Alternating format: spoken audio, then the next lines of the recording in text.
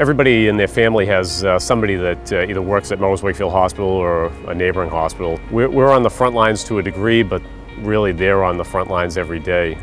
I think just saying thank you uh, isn't really enough. So we had about uh, 17 uh, neighboring agencies, both police, fire, and EMS, and they came out to uh, participate in the parade and show the staff here how much they really mean to us.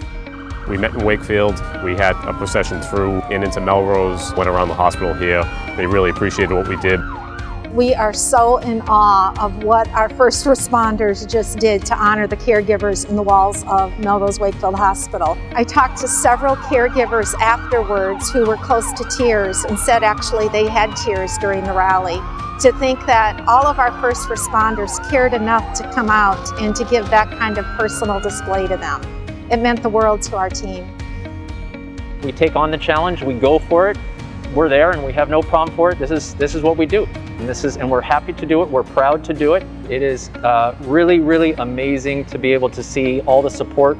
So on behalf of Melrose Wakefield Healthcare, the emergency department, I want to thank police, EMS, fire, all the local restaurants that have supplied us food, all the people that have stitched masks. It's very, very heartwarming.